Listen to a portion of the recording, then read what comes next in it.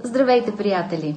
С удоволствие се включвам в инициативата на колегите от ТВ Запад за празнични видеокартички. Искам да пожелая на всички ви топла, уютна, щастлива коледа, много успешна, много здрава и щастлива нова година. В тези празнични дни се сещам за една притча. За едно малко момченце, което било в рождественската нощ в храма. Всички се молили, молило се и то. Само, че то казвало азбуката. Един път, втори път, трети път. Отецът го чул, отишъл при него и го попитал. Момченце, защо не се молиш като нас? Всички ние казваме молитва, а ти казваш азбуката. Защо? Момченцето отговорило. Отче, аз съм сираче. Нямаше кой да ме научи как да се моля. Затова казвам на Господ азбуката. Изпращам му буквите. Той да си нареди думите, защото знае за какво го моля. Знае от какво имам нужда. Красиво, нали? Молитвата и благодарността. Две толкова важни неща в нашия живот. Нека да се молим смирено.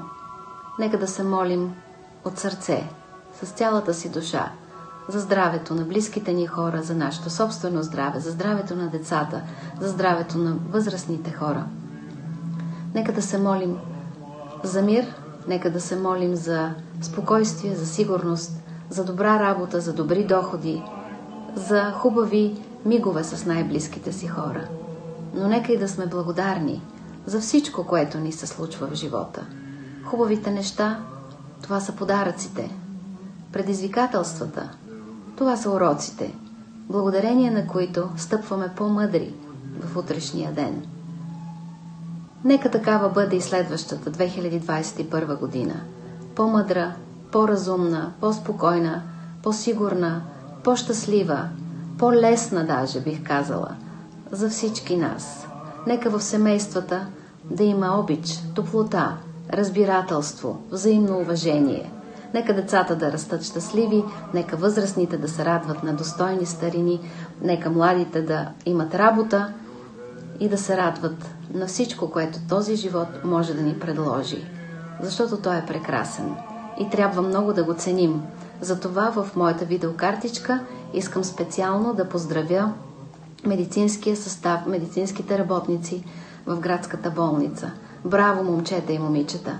Вие сте героите на 2020 година. Бъдете здрави, за да може да помагате на повече хора. Желая на всички мои съграждани здраве, щастие и много, много щастлива 2021 година. Заслужихме си го. Весели празници!